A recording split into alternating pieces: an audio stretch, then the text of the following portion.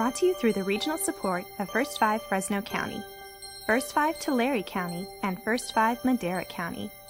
Because it's all about the kids. Bicycle helmets, knee pads, life vest, and seat belts. Parents make sure their kids are wearing them. But what about earplugs? Noise pollution can really hurt your child's ears. So we want to make it loud and clear. When it comes to those tiny ears and toxic noise, it may be time to turn it down. Adults, and yes, kids, enjoy a good rock concert, even in the comfort of their own home. But when does sound become harmful to those tiny ears? We pose that question to Reid Adams Denner, a licensed clinical audiologist in Porterville. He says there are a couple of telltale signs you've been exposed to sound that is too loud. Your ears do give you a signal. Your ears do feel a little stuffy, and you may hear ringing in your ears. Reid says once the damage is done, it's permanent. We're born with a certain number of inner ear hair cells, the nerve cells, uh, and we got quite a few, maybe 20,000 in our cochlea. Uh, it begins to impair hearing, and they don't grow back, they don't rejuvenate. And damage to your hearing at a young age can have lifelong consequences. They're at a point in their life where they're learning to talk, learning language, and uh, it could impair that. It could slow them down.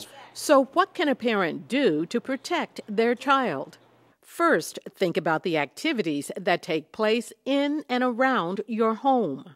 Monitor your child's headphone use. The main concern is the, the iPods and the MP3 players. Research tells us that these little bud headphones that set in the ear, um, kids tend to turn them louder than a, a standard headphone set. Next, become educated about the effects of loud noise on your ears, and then give your kids an earful. As you you go along, after about five ten minutes, your ears uh, kind of uh, don't hear it as loud, don't perceive it as loud. And the tendency is to actually turn it up even more. It's a good idea to use protection. By the time they reach adulthood, they'll be worse off than our generation. When attending events that may involve loud noise, such as fireworks, take a step back. Create some distance between you and the noise. When there's a loud noise, go further away because noise dissipates with distance. Turn that volume down. Get used to hearing things more acceptable, more medium level. As parents, we want our kids to be able to hear all of the nuances of sound in the world around them, from the mundane to the magnificent. So it's wise to turn it down. The environmental sounds aren't all that loud, and you can't enjoy them if you're hearing impaired. Austin, what do you hear? I hear a bird. You hear a bird? I, I hear a bird too. Anyone hear the trickling water? Some sound advice. If you'd like more information on how loud noise can hurt a person's ears, just go to our website and click on 0 to 5 in 30 minutes.